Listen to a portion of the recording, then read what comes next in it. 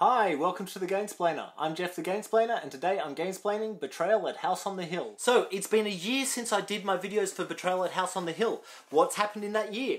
Well, they brought out another version. This is Betrayal at Baldur's Gate from memory. Uh, it's the same game, but in the D&D high fantasy universe. It sounds cool.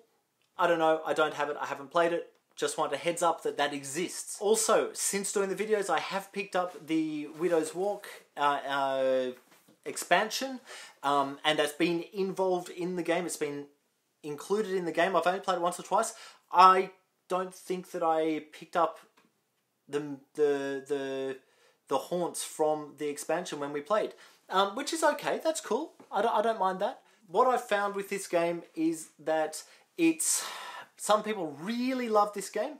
If they're into story and putting a soundtrack on and the music changing when they put down a room and things like that, that's cool. If they enjoy that type of play, uh, and look, I've enjoyed. We um, played with I played with a group like that, and we we had a couple of games back to back, and I I quite enjoyed myself. I enjoyed my time at the table playing that. I find that it's a super slow burn at the beginning of the game, and that kind of just gets a little bit trudgy because you, you're going through this game and you don't really have any idea of why other than just discover tiles.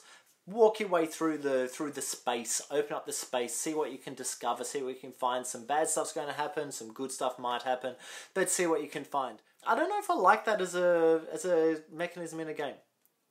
I want to have an idea of why I'm doing stuff, and this game starts with no idea of what you're doing.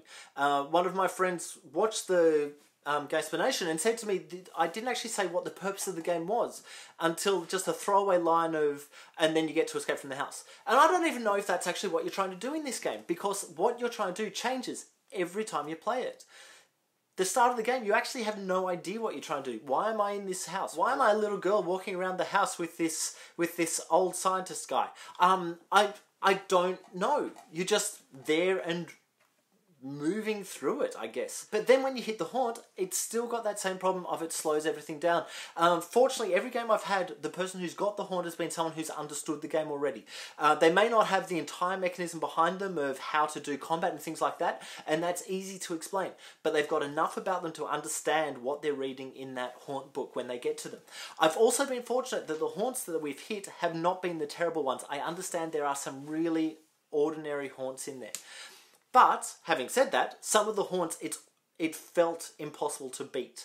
Uh, from the side that we were on. That might just be the way we're playing. It might just be. I'm not going to call it a broken game. It's not a broken game. It's just some of them are easier to win on one side or the other, and that's just the realities of this game. So look, it, it can be a fun game. Um, there's some enjoyment still to be found in it, I guess. Uh, I'd be interested to play the new D&D version, uh, Baldur's Gate. Oh, one other thing that I do need to say. I think last time I was complaining about these sliding off and not, not staying still real easy, the markers, all you need to do is put a bit of paper behind them.